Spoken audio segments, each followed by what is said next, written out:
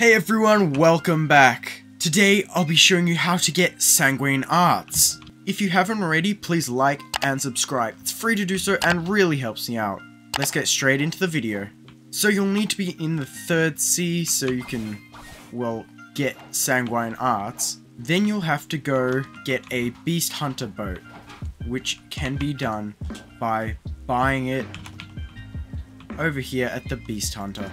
These are all the ingredients for the Beast Hunter boat. These things here are Leviathan scales. I've got eight of them. Now, I do not have the boat, but someone I went with did have the boat. Now, when you find a Leviathan and you kill it, then it drops its ice heart. At the front of the boat, there is a spear harpoon type thing that you can harpoon the heart with. And then once you do that, you can take it back all the way to the front right over here where my character is looking, right here. And then everyone you survived and came back with will get the Leviathan heart. If you don't know how to spawn Leviathan, go check out my other video on that.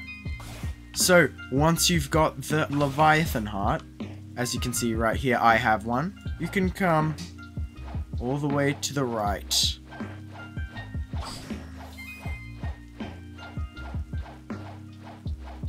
Then over here, there is a grate. Come down here all the way to this guy, Shafi. You talk to him. Now, once you've got the materials, you'll use them. The materials are 20 demonic wisps, 20 vampire fangs, and 2 dark fragments.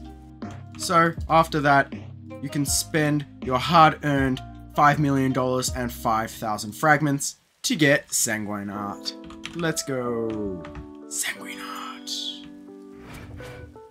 Oh, that's really cool. And it's really fast. Like, this click speed is really fast and doesn't even move me forward. That's amazing. Can't wait to use this in PvP. Have fun leveling it up. If you enjoyed or found this video helpful, please like, subscribe, and hit the notification bell to get notified when I make a new video. Thanks for watching, and see you all next time.